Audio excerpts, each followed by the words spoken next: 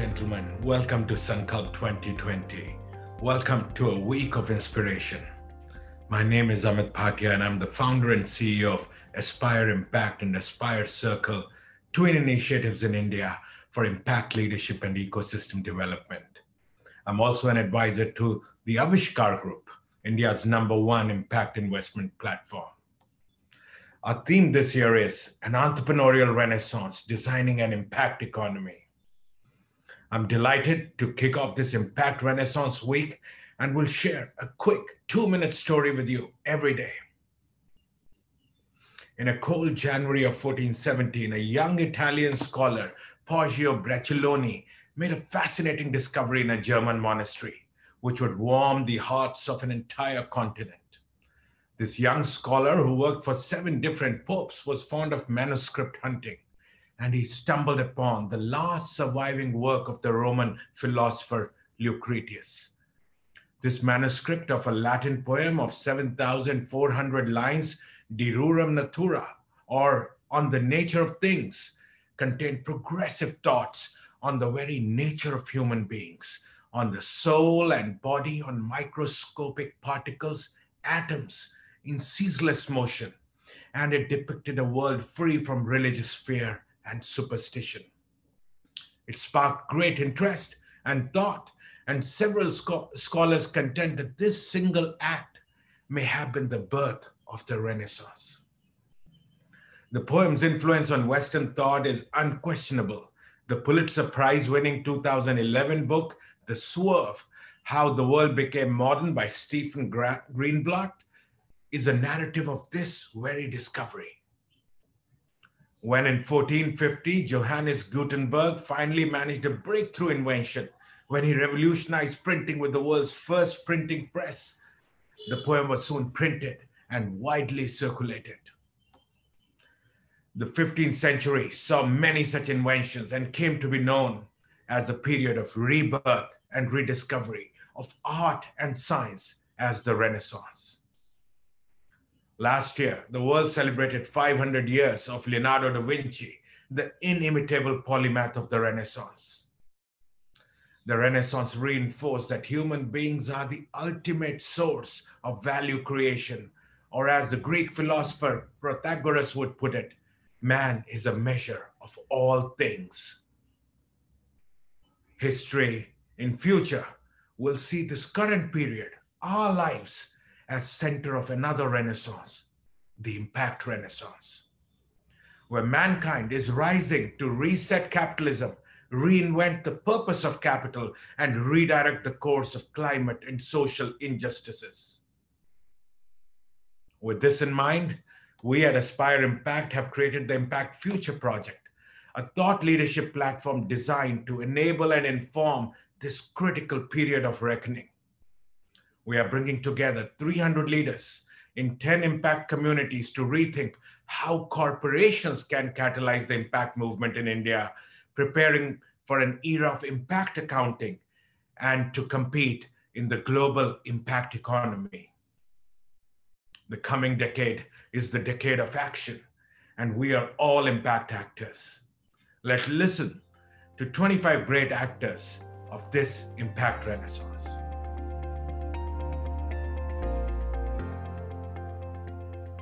Today, as we kick off, we will first invite an impact actor, a true Renaissance man, a tireless campaigner of the impact movement, a thinker, an innovator, an impact investor, and a serial impact entrepreneur. He's the founder of GSG, of Social Finance, of Big Society Capital, of Bridges Fund Management. He is Sir Ronald Cohen.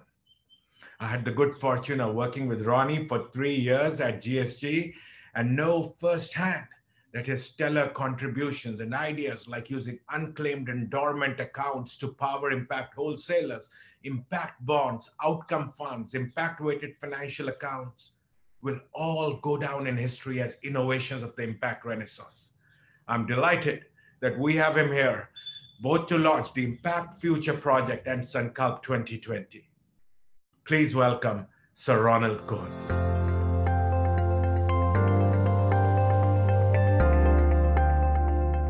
Great pleasure for me to join you at this uh, forum. Uh, last time I, I spoke here is about five years ago, and a huge amount has happened in the impact uh, space. And this is a great opportunity for us to catch up about it. But before I start, I want to recognize Vineet Rai and Aavishkaar, who initiated this forum and continue to host it, and also my colleague at uh, the GSG, Amit Bhatia, who was our first uh, CEO, whose uh, Impact Future project in India is now contributing so much to advancing impact. The world is changing. We can see that change in the consumption uh, that uh, young people uh, are, are making uh, purchasing only the products of companies whose values they share by their employment decisions, uh, refusing to work for companies that are polluting or uh, creating uh, social uh, issues. And we also see it in the behavior of entrepreneurs who, like many of you, are thinking now in terms of ventures that uh, are able both to do good and to do well. And the more positive impact they deliver, uh, the more profit uh, they make. And these changes have not been lost on investors. Uh, and so it is that uh, we see now $30 trillion or more of ESG investing, environmental, social, and governance investing, where there is an intention to deliver both impact and profit through investment in, in companies. Now, 30 trillion is not a trivial sum. Uh, it is equivalent to a third of all professionally managed money in the world. So this is way beyond a, a tipping point uh, now. And if we look at uh, impact investment proper, where you not only have the intention to create the impact, but uh, you also measure the impact creating, we will hit a trillion dollars this year. Uh, that is equivalent to the whole of uh, the world's venture capital uh, pool. Uh, so it's clear that investors now want impact, and the pressure for them to have uh, the impact measurement uh, which uh, they require uh, is increasing all the time on regulators and on governments. an initiative that I'm involved with at Harvard Business School, the Impact Weighted Accounts Initiative, has published the accounts of 1,800 companies measuring their environmental impact. And when you look at uh, the environmental damage that these 1,800 companies um, cause, uh, your mind boggles. Uh, 250 of them create more environmental damage a year than they create in profit. A third create environmental damage equivalent to 25% or more of their profit. And when this uh, transparency uh, begins to spread, and when it's accompanied by transparency on the employment impact of companies, measuring the cost of uh, lacking diversity, where you measure the number of people from minority groups that uh, are employed by a company and you compare uh, that number to the demographics around the facilities of that company and you ascribe once again the salary levels um, to those missing uh, people, uh, then you begin to get a significant monetary value of the uh, cost of lack of diversity. Uh, and, and similarly, product impact. Um, we are able today, because of technology and big data, uh, to put real numbers down uh, for the impact of a, of a nutritional uh, product or a car or whatever else uh, uh, you want to analyze. And when this impact transparency comes, it is going to move the goalposts for investors and for business, and it's going to bring some very important new tools for government. What do I mean by that? To the extent that investors today recognizing that optimizing risk, return, and impact is the way of the future, that if you don't take impact into account when making an investment decision, you're ignoring risks, the risks of uh, uh, consumers, uh, employees, and uh, investors uh, deserting you, the risk of government taxing you or regulating you to constrain your uh, activities. and at the same time, ignoring new sets of investment opportunities, looking at um, impact on, on people uh, leads you to analyze underserved markets and define new products uh, that can enable you to improve the lives of people in these markets while delivering very attractive financial returns. And to the extent that investors recognize this uh, triple helix of, of risk, return, and impact is going to characterize the successful companies of the future, then we realize that we're embarking on an impact revolution, which is going to be as wide ranging as the tech revolution that has preceded it. And I see entrepreneurs playing a fundamental role in driving this because the disruption that tech brought was led by young entrepreneurs who started out wanting to change the world through the technologies that uh, they had uh, developed, and then overtook uh, the leading companies in, in their fields uh, in the space of just two or three decades. I see the same thing happening again now. And I just want to give you an example of what I mean by an impact venture uh, by looking at a, a, company here in Israel I'm speaking to you from Tel Aviv called uh, Orcam to illustrate my point.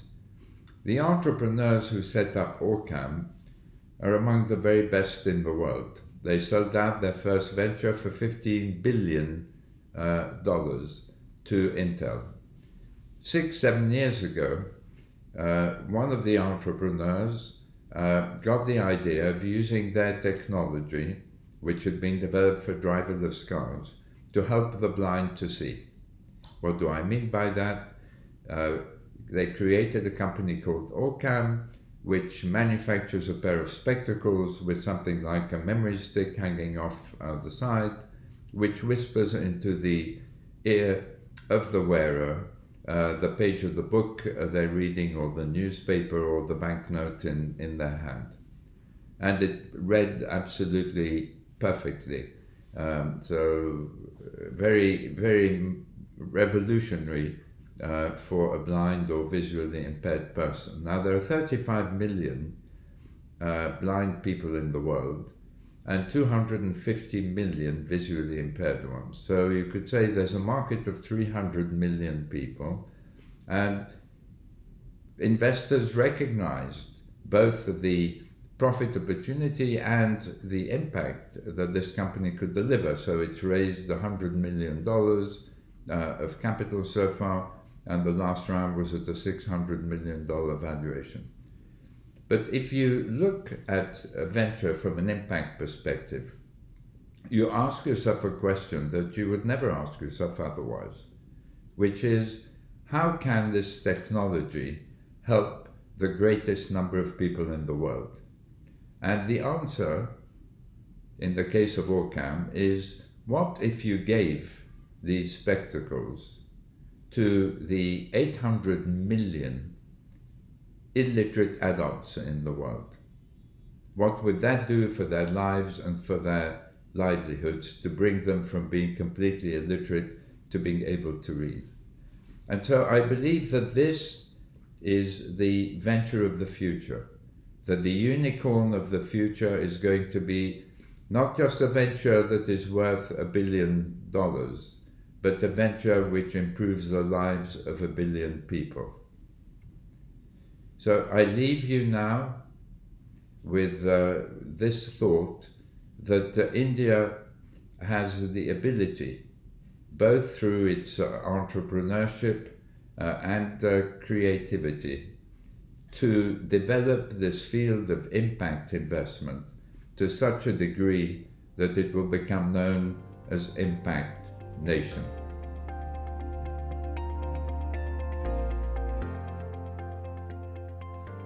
Thank you, Ronnie. Continuing with our inspiring leaders, I'm pleased to introduce Anant Maheshwari, President of Microsoft India. Anant and I are both fellows of the Aspen Institute, and I have known him as a visionary leader, a true harbinger of the future, supporter of the Impact Future Project or IFP, and co chair of IFP's Healthcare Impact Community. At Microsoft, Anant works to ensure complete alignment between the company's mission of empowering every person in every organization on the planet to achieve more with India's inclusive growth agenda. Please welcome Anant Maheshwari.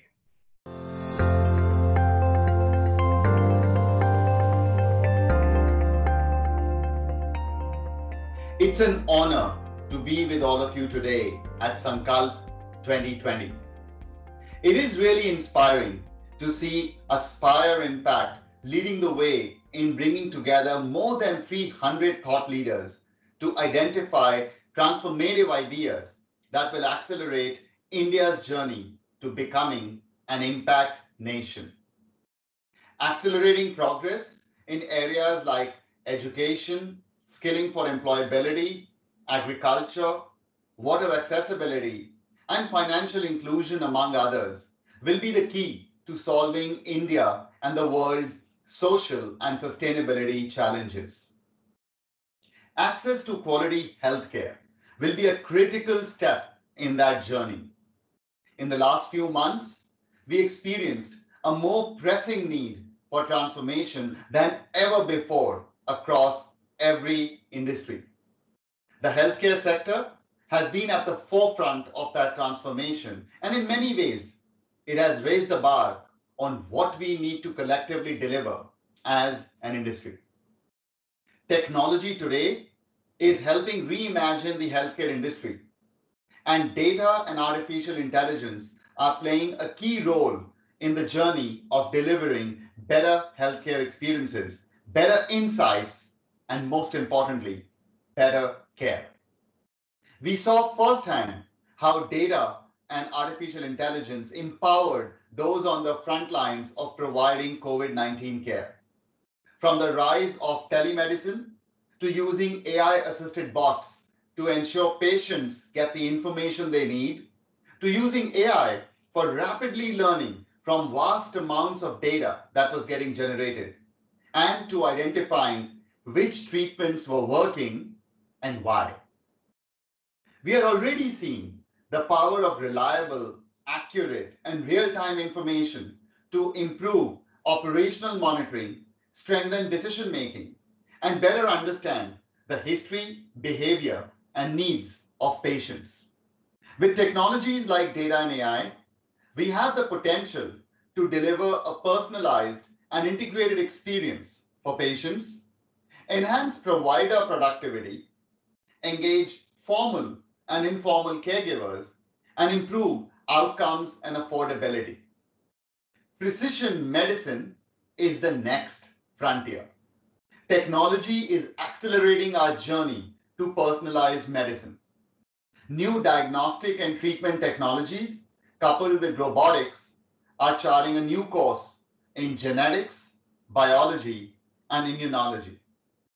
These digital innovations coupled with the knowledge and quality of care provided by experts around the world, will result in a much better quality of healthcare at scale.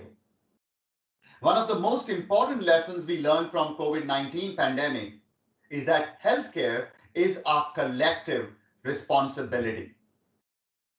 This will require a strong collaborative effort between the public and private sectors along with civil society to not only accelerate medical research and discovery, but to ultimately empower every person on the planet and in India to have access to high quality healthcare and empower all organizations providing healthcare services to deliver on that promise.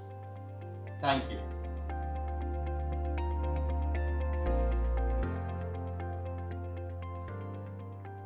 Thank you, Anand.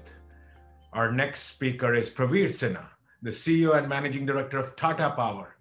Praveer Bhai has over three decades of experience and has been credited with transforming the power distribution sector and universally recognized as an expert commissioner of greenfield and brownfield power projects. A visiting scholar to IIT Delhi and MIT Boston, Praveer Bhai will co-chair IFP's Renewable Energy, Climate Infrastructure and Clean Tech Impact Community. Please welcome Praveer Sinha.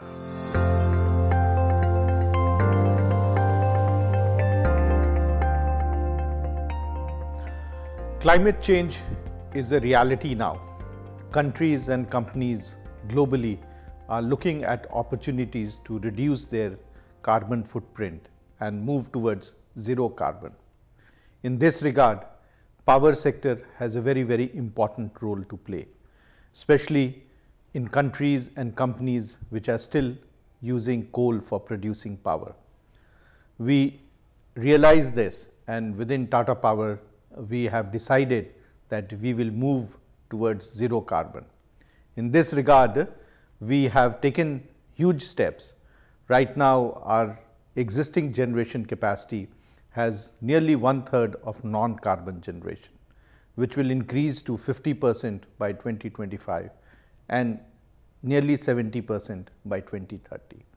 And we be, want to be zero carbon by 2050 in our endeavor to become a zero carbon company, we will be taking up more of renewable projects, more of distributed renewable projects which will go to the consumers whether it is in urban areas or rural areas through the microgrids.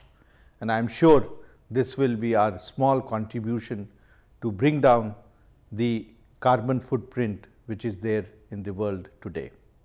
I wish all of you take up the pledge that you will over a period of time become zero carbon and carbon neutral so that the globe and the countries become better places to live. Thank you.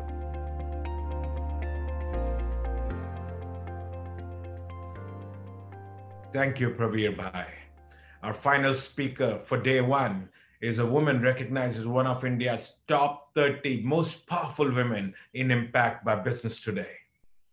Geeta Goyal is the country director for India at Michael and Susan Dell Foundation and manages the foundation's operations in India across education, livelihoods, and financial inclusion.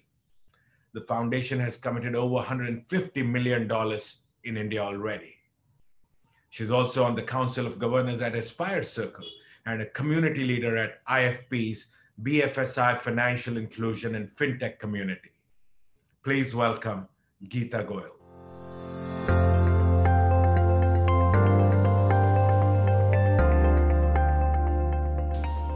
Climate change, growing and stark inequalities, COVID 19, the blatant discrimination amongst humans, humans on account of race, color, religion. Yes, things are bad and they can get better. The time to act is now. However, this time we need to take an approach that's different from the past. We need to anchor our approach around collaborations, collaboration between the market or the corporates, the government, and the civil society or philanthropy. We need to shift the focus from shareholders to stakeholders. How do we make this shift happen?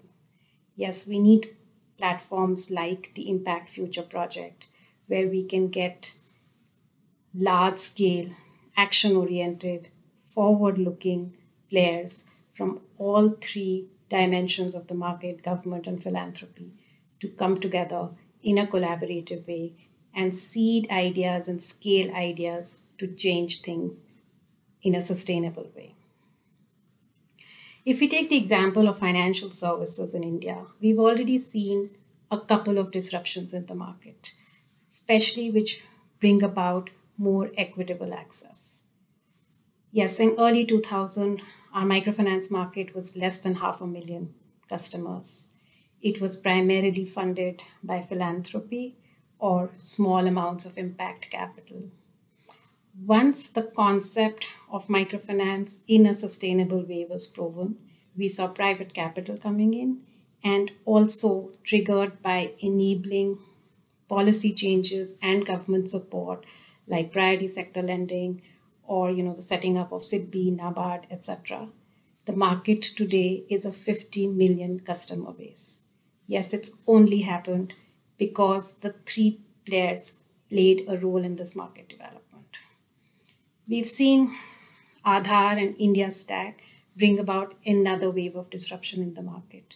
Today, digital transactions are much easier, much more accessible than they were in the past. The cost of accessing a low income customer, the cost of servicing a small ticket size loan is much lower than in the past. Yes, we have a demand base, an addressable demand base of more than $500 billion in the micro and small enterprise segment in India. We are not servicing this. Why not? Because we don't have data on these customers. We don't know how to reach these, reach these customers. And the lenders are risk averse because these customers may not have a formal credit history. So, what is the disruption that can happen? Yes, we need action on two fronts. One is an expedited and easy digitization process for this customer base. And two, we need guarantee mechanisms so to allow people, to allow lenders to lend to this segment in a risk mitigated way. We need to support the market to service this customer segment. And both these efforts on digitization and guarantees can be done in an innovative way using creative structures funded by government, philanthropy, impact capital, as well as market capital. We just need to make the first few steps, and this market can actually be serviced in a financially viable, large scale way.